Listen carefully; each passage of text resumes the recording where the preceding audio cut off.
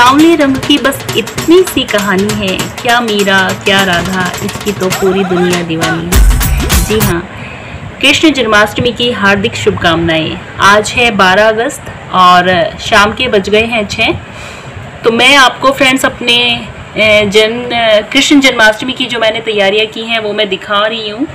मैंने सोचा कि इसके लिए भी एक वीडियो बना देते हैं भाई।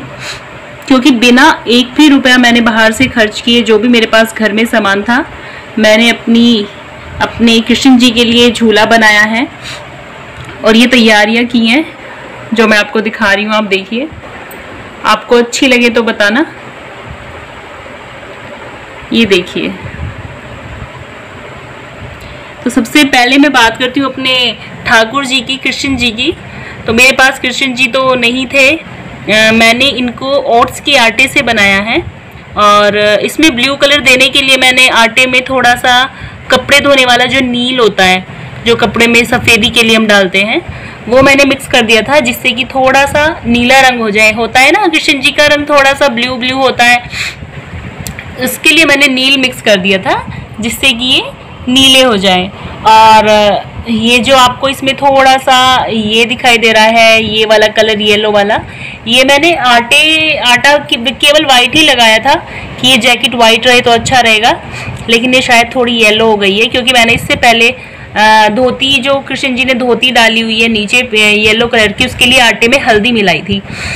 और ये पीला रंग देने के लिए।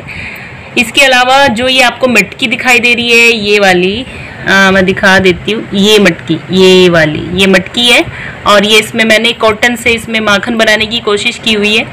पता नहीं आपको अच्छे से दिखाई दे रहा है कि नहीं। देखिए ये देखिए। तो ये मटकी बनाई हुई है और ये मटकी भी मैंने ओट्स के आटे में मैंने थोड़ा सा सिंदूर डाल दिया था तो ये रेड हो गई थी और फिर मैंने इसको बाद में जब ये सूख गई अच्छे से तो नेल पेंट रेड कलर का नेल पेंट कर दिया था।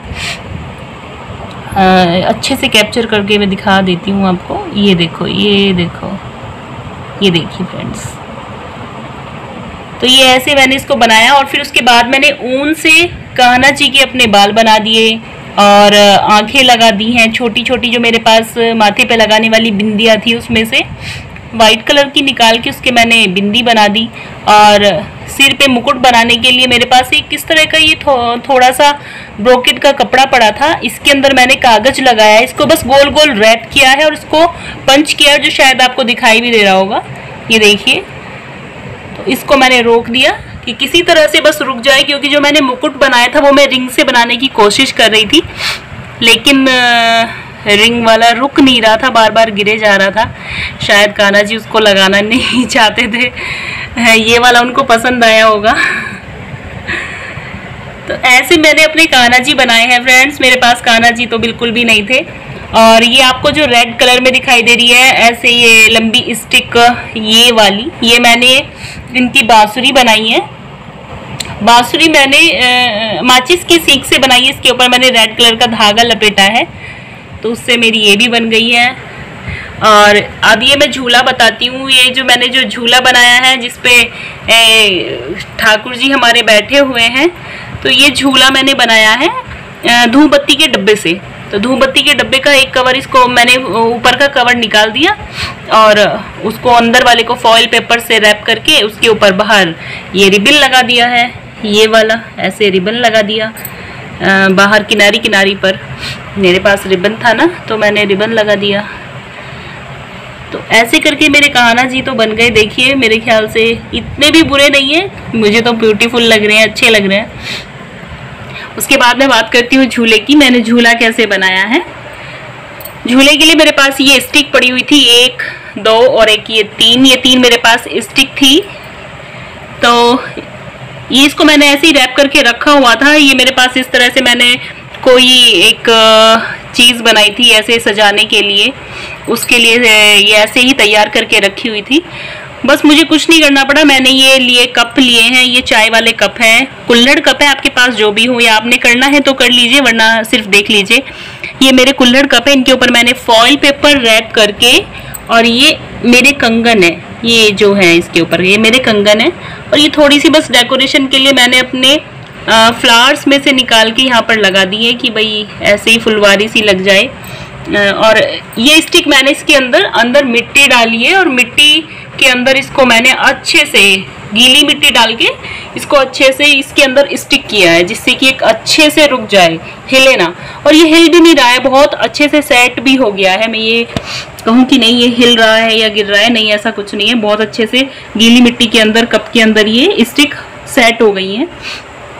अब मैं बात करती हूँ पीछे जो मैंने पहाड़ बनाए हैं फ्रेंड्स ये मैंने बस और कुछ भी नहीं है, बड़ा ही सिंपल है। चार स्टिक लिए हैं, लकड़ियाँ ली हैं, छोटी, बड़ी साइज़ की। सब सेम नहीं लेनी, क्योंकि फिर तो कुछ अच्छा नहीं लगेगा। पहाड़ तो ऊँचा नीचा ही होता है। उसके ऊपर मैंने व्हाइट कलर का एक कपड़ा था मेरे पास, आप देख सकते हैं। ये कपड़ा था इस तरह का एक, उसको मैंने इसके ऊपर कहीं कहीं जहाँ जैसे मन किया वैसे मैंने लटका दिया कि भाई ऐसी कोई शेप देनी है। और अंदर ये जो आपको लाइटिंग दिखाई दे रही है, ये लाइटिंग इसके अंदर भी है और बाहर भी है। तो ये मैंने लाइटिंग दोनों तरफ़ लगाई है, जिससे कि हर तरह की शेड आए। भाई बाहर वाली शेड भी अच्छी लगती है और कपड़े के अंदर वाली शेड बहुत ज़्यादा अच्छी लगती है। ये मैंने थोड़ी सी फुलवारी रख दी है कृष्ण जी के लिए, कान्हा जी के लिए आम रख दिए हैं। तो भाई कान्हा जी आम तो खाएँगे ही। और अब देखिए फ्रेंड्स ये मेरे जो, ये ये फ्लावरिंग है, ये है, ये भी, ये जो कुछ भी मैंने डेकोरेट किया है, ये मैंने इसमें से निकाला है, अपने इस फ्लावर्स में से निकाला है। इसमें ये मेरे पास बंच था, इससे निकाल के लगा दिया है। और ये दो मोर पंखे मेरे पास, एक इस तरह का मैंने स्टिक पूरा सेट लिया था। इसके अंदर ये चार पाँच पंखे बहुत ज़्यादा तो नहीं है, पर ये इस तरह का लिया था मैंने तो ये इसमें मुझे मिल गई थी। इसमें से मैंने दो निकाल कर लगा दी हैं। तो कान्हा जी के पास मोरपंख भी होना बहुत ज़्यादा ज़रूरी है। और ये मेरा इयर है फ्रेंड्स ये देखिए। ये मेरा इयर है।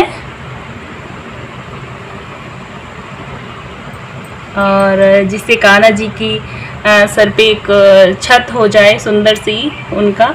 और ये, बस ये तो वही है जो सूटों में, ब्लाउज में लगाने के लिए लटकन आती है, ये बस लटकन मैंने लगा दी और तो मैंने कुछ नहीं लगाया, बस ऐसे। इतना करने से ही बस मुझे बिना किसी खर्चे के भी बहुत अच्छा बन गया अच्छा लग रहा है, सुंदर लग रहा है।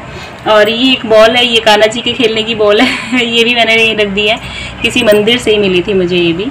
और ये मैंने ऐसे बीच में लगा के बस कान्हा जी के झुलाने का बना दिया है। अब देखो कैसे मज़े से कान्हा जी मस्ती से झूल रहे हैं, मज़े ले रहे हैं पूरे पूरे मज़े ले रहे हैं।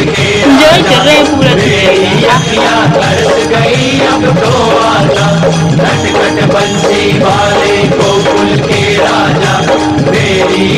तो ओके फ्रेंड्स अगर आपको मेरी वीडियो अच्छी लगती है तो लाइक कीजिए शेयर कीजिए, या ना कीजिए, या लाइक भी मत कीजिए।